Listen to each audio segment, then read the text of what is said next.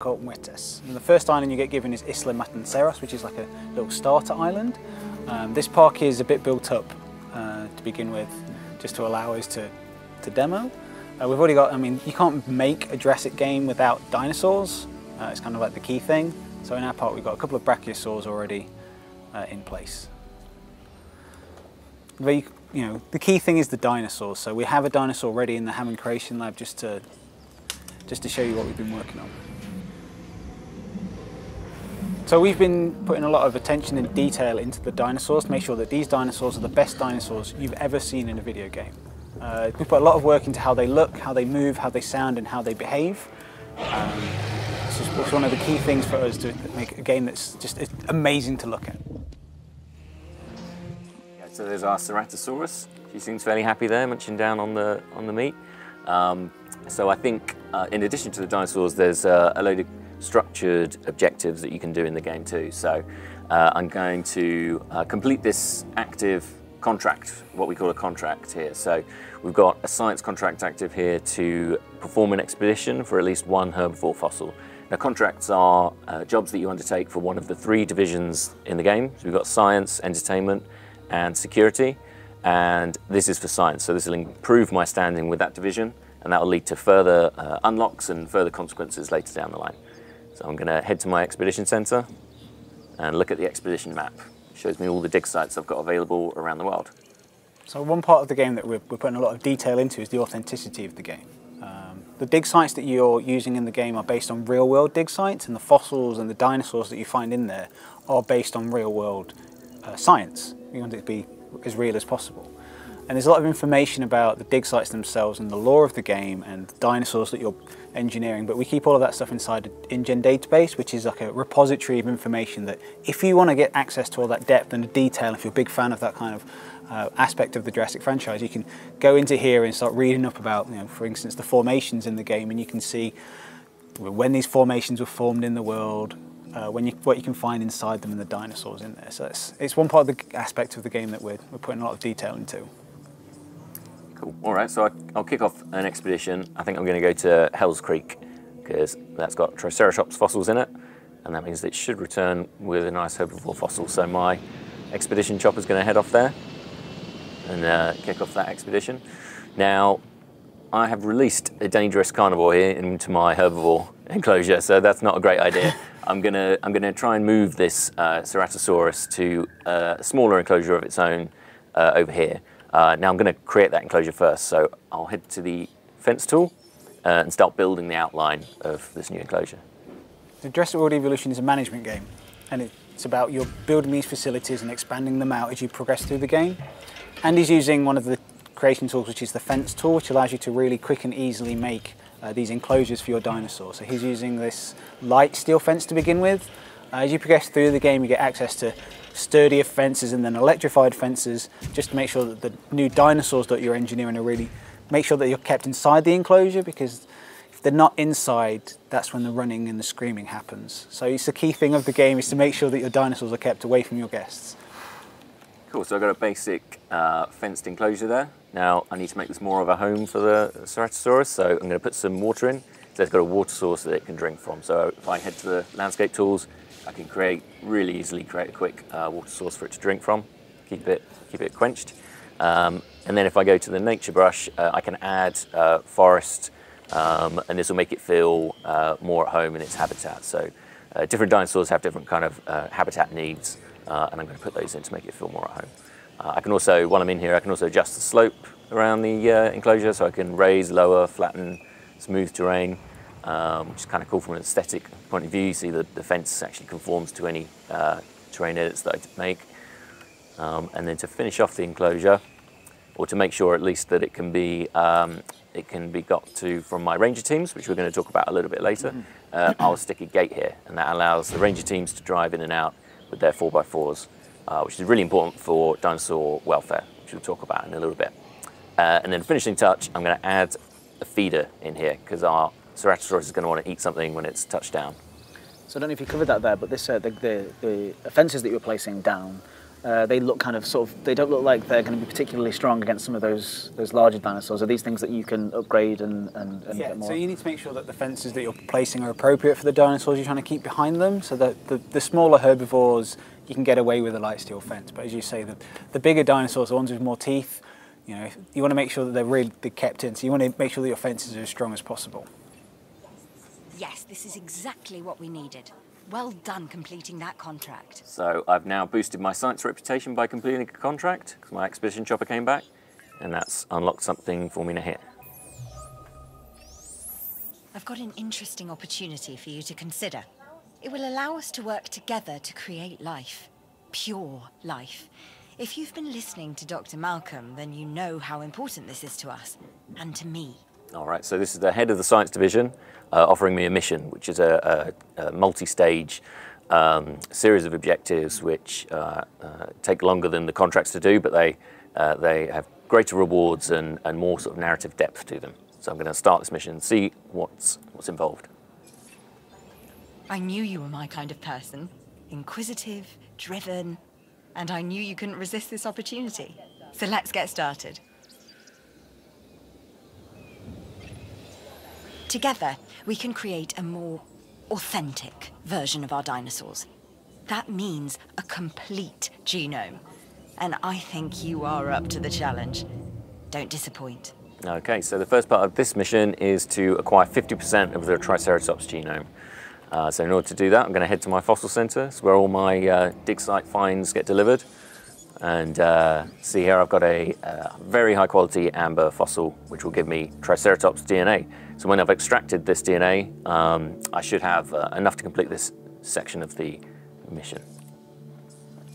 So another option there as well to sell. Uh, so you can sell them just to gain money, and that will, uh, yeah. So that's there's kind of a trade-off there. Is you can focus just on the dinosaurs, or use fossil uh, dig finds for uh, you know, short-term financial gain. And one part of the game that we're really focused on is not just making sure that the dinosaurs are the best dinosaurs you've ever seen, but the environments that they inhabit are amazing as well. So we put a lot of care into the building systems as well as the islands themselves. So each island has a lot of um, work and attention been done to make sure it looks amazing and as it can be, and we put work into a weather system as well. So as you're playing through the game, there's different weather events that might happen, things like light rain or heavy rain. Some of the later islands have more extreme weather events, so um, there's a lot for you to do there. These things aren't just aesthetics things though. The, the tropical storms that might hit you later on have a gameplay aspect. They might come and knock your fences out. They might come and take out your power station. So there's, there's things for you to be worrying about as you're managing not just these, these dangerous dinosaurs in your facility, but things that might cause them to escape. Now we need to incubate, hatch, and house our dinosaur. Then we will know if our efforts will have been worth it. Okay, cool. So my uh, fossil was extracted, and that meant I've got uh, enough of a Triceratops genome to incubate a Triceratops dinosaur egg. So if I go to my Ham Creation Lab, I can see all the available genomes I have. Uh, I've only got a few here, obviously this is just the start of the game, um, but one of those is my newly available Triceratops, so I'm going to incubate that right now for this mission. So this is going to be my herbivore enclosure. I've got two big herbivores here, got another one on the way.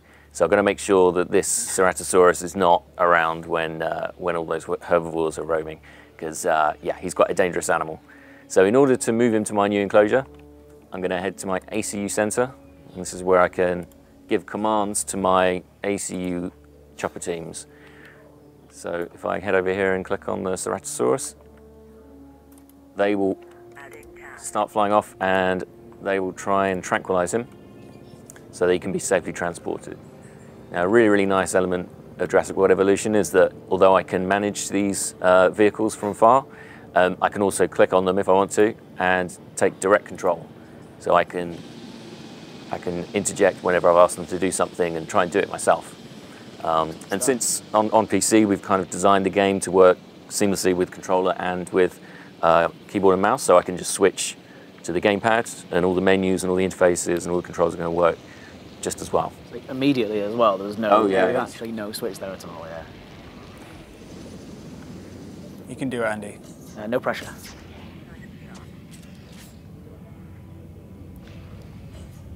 Nice. nice.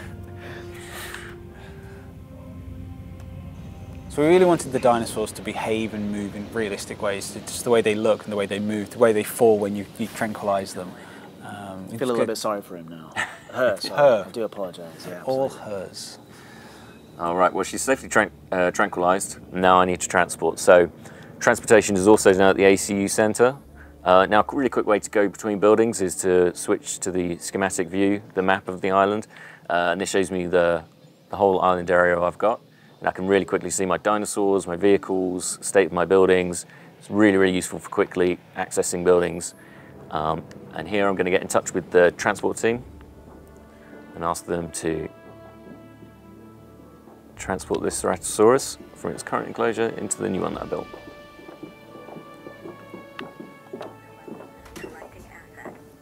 And that poor goat that you, you created earlier doesn't know what's coming. It might be fine. it, might be fine. It might be fine. You can't assume that the Ceratosaurus is going to go for it. Might outlive. You never know. you never know. A good hider.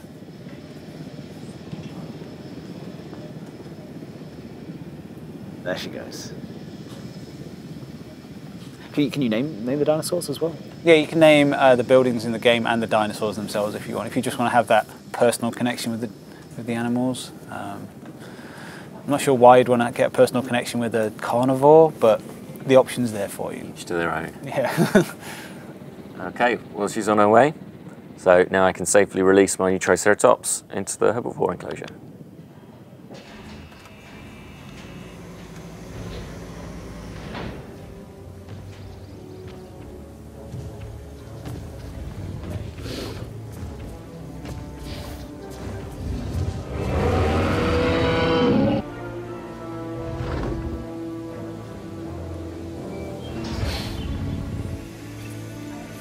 Our new specimens, sorry, dinosaurs, are meeting expectations. But we want them to thrive. That's your next assignment. Making sure our specimens are properly cared for. In other words, dinosaur welfare. The difference with dinosaurs is that they have no point of reference to understand humans, so don't expect much in the way of thank yous. And another part of the game that we're really excited about is the opportunity to uh, Jeff Goldblum. Yeah. He's uh, reprising his role of Dr. Ian Malcolm, and he's throughout the game. Yeah, he's there as a narrator, as like a voice of conscience. You're going to be making some decisions in the game as to which division you're pursuing the missions for, and there's going to be some consequence to that. And he's there just to remind you that a, these dinosaurs should never have been brought back. It's been a mistake from, from day one, and that there's going to be a consequence to some of these decisions. And you just can't keep some things like that in your enclosed and they will always find a way to escape or something will find a way to just go wrong. And he's always there just to just to keep reminding you of that fact. It's, it's been it's just such an amazing thing to, as a developer to, to work with someone like him in, in, in one of our games. Cool. All right. Well this next stage of the mission is all about uh, as the head of science said uh, dinosaur welfare.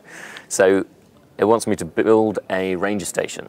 So I need to make a bit of space here because my uh, my island is oh just uh, adding less yeah, space. Adding, adding. Yeah. so what you need to do before you build, before, when you start expanding your park, you need to kind of clear the ground so that you've got space to build on.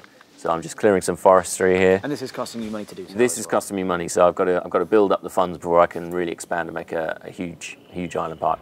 Um, so yeah, you might need to flatten the terrain as well if it's if it's rough and uneven, which is another factor. So this looks like enough space, so I'm going to put my ranger station down, and these guys are going to help me look after my dinosaurs.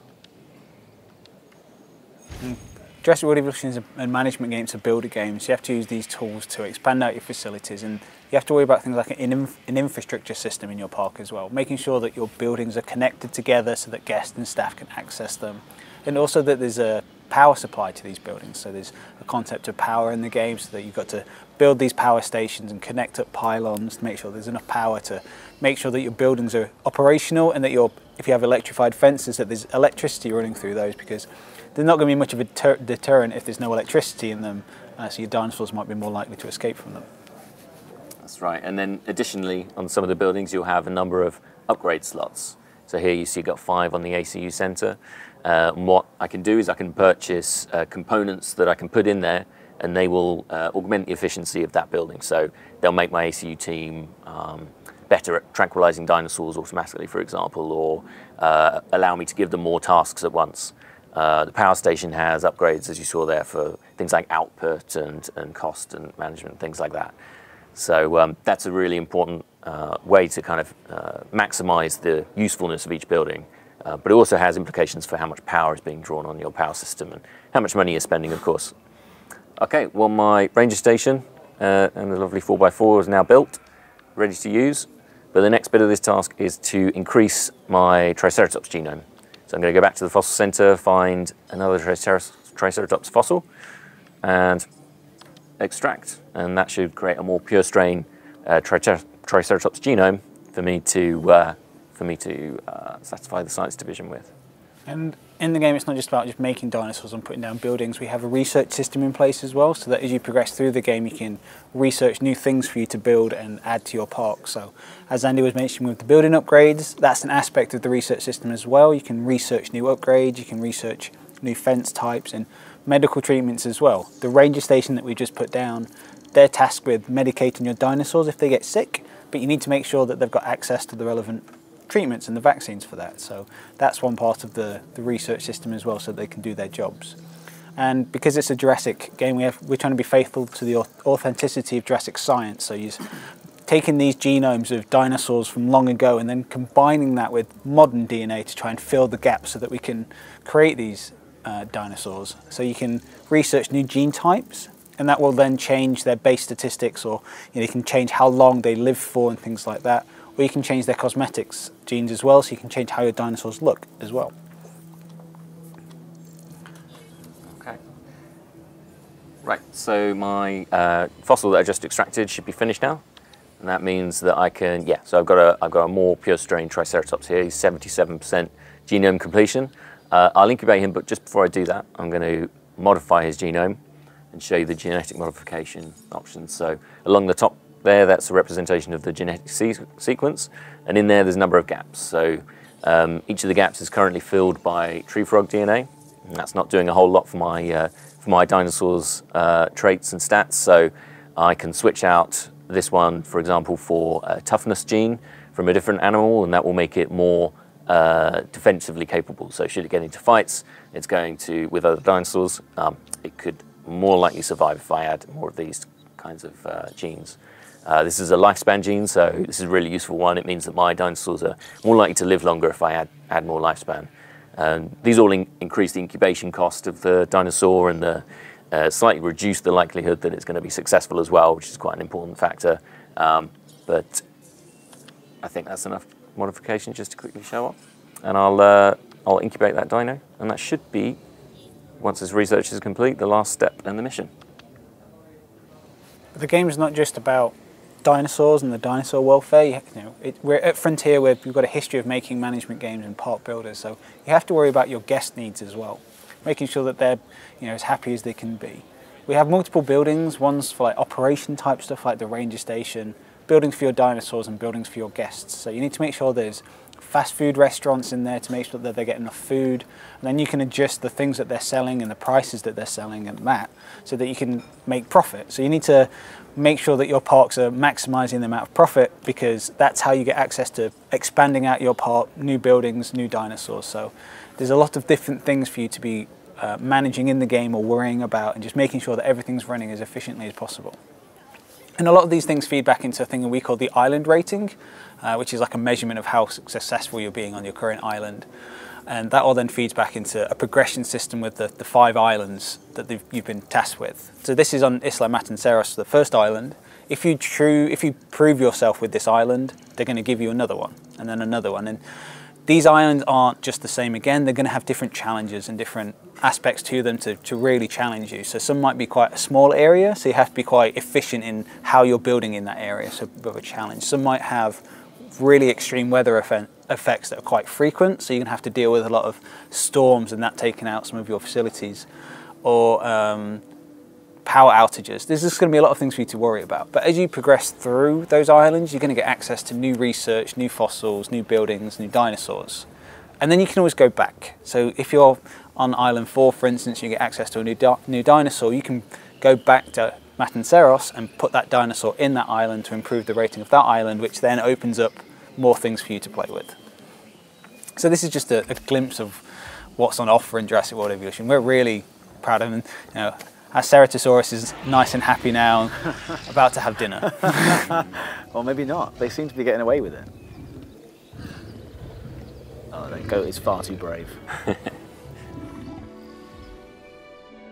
So thank you guys for that amazing gameplay demo. Uh, it really does look absolutely amazing. Uh, and it's not that long before people can play Jurassic World Evolution themselves uh, because the game comes out on June the 12th, 2018, which really isn't that long away. It's, it's very, very exciting stuff. So follow us uh, on Twitter at JW underscore evolution. Find us on Facebook and subscribe to this YouTube channel for all of the latest Jurassic World Evolution news. Thanks again, and we'll see you soon.